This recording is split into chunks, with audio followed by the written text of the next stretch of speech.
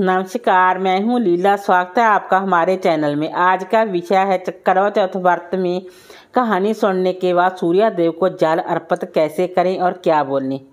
देखिए दोस्तों, व्रत चाहे करवा चौथ का व्रत हो चाहे हुई अष्टमी का व्रत हो।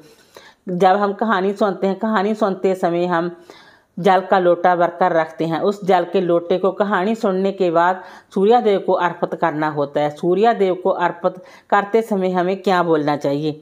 कहानी सुनने का जो आपने कहानी सुनते समय दाने लिए हैं और उन दानों में से आधे दाने चाँद को अर्घ देने के लिए रखें और आधे दाने सूर्यादेव को अर्प, सूर्यादेव को अर्घ देते हुए अपने हाथ में और उसके बाद आप कहानी सुनने के बाद सूर्यादेव को अर्घ दें।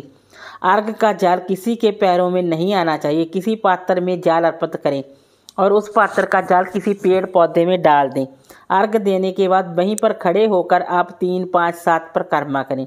अर्घ देते समय आप इस दोहे को अवच्छ बोलें हरे बाँस की शावड़ी, गलमोतियन का हार चाँद सूरज को अर्घ देऊँ जिए मेरे भाई बरतार। आख तले मेरे सासरे डाक तले संसार।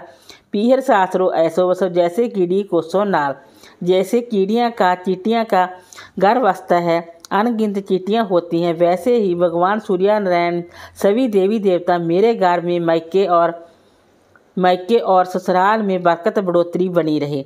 आनदान की कभी कमी ना हो, और बेल को बढ़ा बेल को बढ़ाना इसी तरह। आप सूर्यादेव को अर्घ दें। इसी तरह आप चंद्रमा को अर्घ दें। वीडियो अच्छा लगा हो तो लाइक कीजिए, शेयर कीजिए, सब्सक्राइब कीजिए। Thanks for watching this video